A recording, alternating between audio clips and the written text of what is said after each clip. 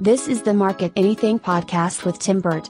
Do you enjoy our budget friendly introduction? I know you've had the thought in your head should I be podcasting to promote my business? The short answer is yes, and we'll talk about why in just a couple of minutes. In fact, I mean, you're listening to this podcast to help me promote my business. This is a podcast about podcasting. My name's Tim Burt. Thank you so much for being here. And as always, I encourage you to download and subscribe to this podcast wherever you're listening to it. It's on most major podcast platforms. So, this is the first of a three part podcast series on how to get you to become a podcaster as quickly as possible. Why? There are a lot of reasons, and they're all going to help your business. So, in this podcast, the first of three, we'll talk about how easy and fast you can record your podcast. We're going to talk about the equipment that you need, and the good news is you probably already have it, and it's quite simple to use. In the second part, we're going to discuss the technical side, which isn't as daunting as you might think. We'll talk about recording the podcast, getting your mic levels correct, sneaky podcast host tips, the show structure, and the biggest question how long should your podcast be? You're also going to tap into my 25 years of radio background and editing audio. I'm going to share some tips on how you can make your podcast sound top notch. In the third and final podcast about podcasting, we'll talk about how to get your podcast online, uploading and distributing your podcast. We'll talk about the many podcasting platforms, how to get it uploaded, and then blast it out so the world can hear just how awesome you really are. Now, the second and third parts of this series will be released in the coming days. Let's talk about podcasting. Why should you do it? Not just because it's the hot fad right now. Here's a reason why. It's because you can go in depth on a certain topic about your product or your service. You're able to give greater detail than you can in a long description box on YouTube, or if someone can't watch your video talking about whatever it is you do right now, they can at least listen to a podcast. Here's another reason. If you have competition, they may not have a podcast. That gives you an incredible opening that they don't have because you're able to explain why you're better and showcase your knowledge and skills. And if you don't have competition, then guess what? You launch a podcast, you're first in the category. Therefore, you theoretically are a winner. Now, before you start freaking out thinking, oh my gosh, I've got to buy a bunch of equipment and I've got to round up guests and I, I don't know where to record and all of these things, we're going to address that in just a minute. As someone who spent 25 years in the radio industry, I will tell you firsthand there are a lot of similarities between being on the radio and doing a podcast. And if you're saying to yourself, but Tim, I have no radio or television background, what do I do? I, I don't even know what to say. We're going to address that in just a moment. First, let's bust some myths about what the world of podcasting really does entail.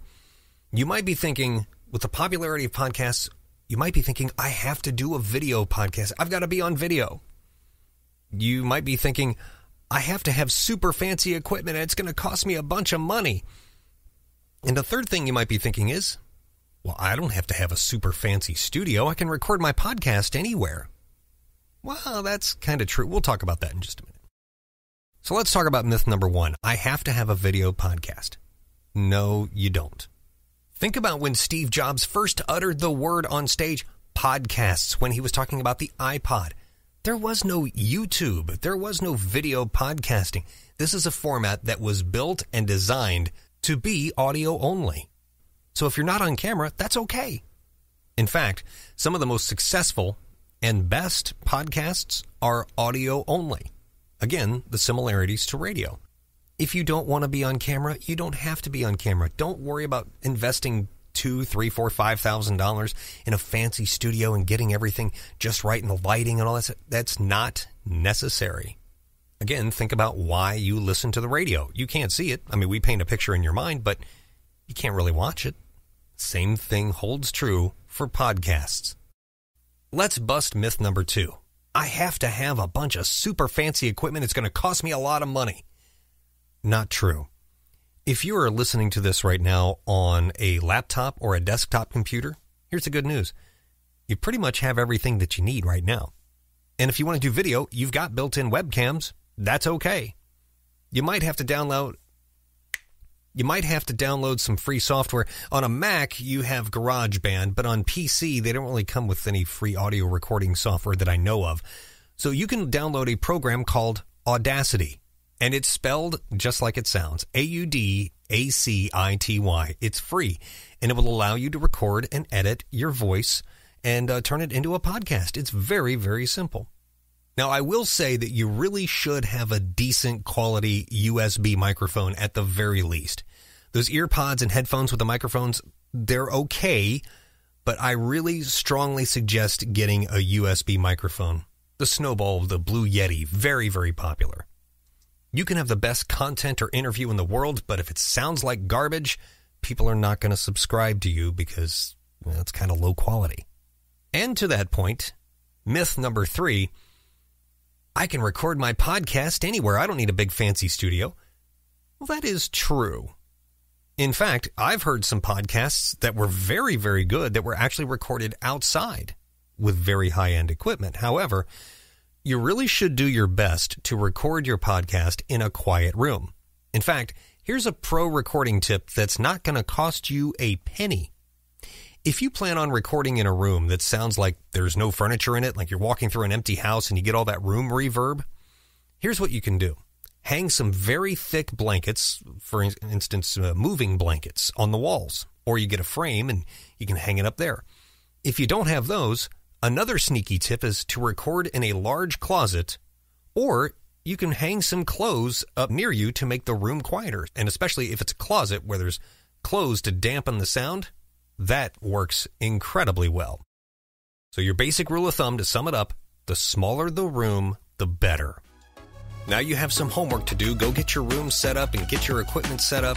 It really shouldn't take you too long to do that. The second part of this series, where we'll talk about actually recording your podcast, is coming to you in just a few days. Again, I encourage you to like, comment, share, and subscribe to this podcast. Download it as well. My name is Tim Burt. I want to thank you for listening and you can stay in touch with me at marketanything.co.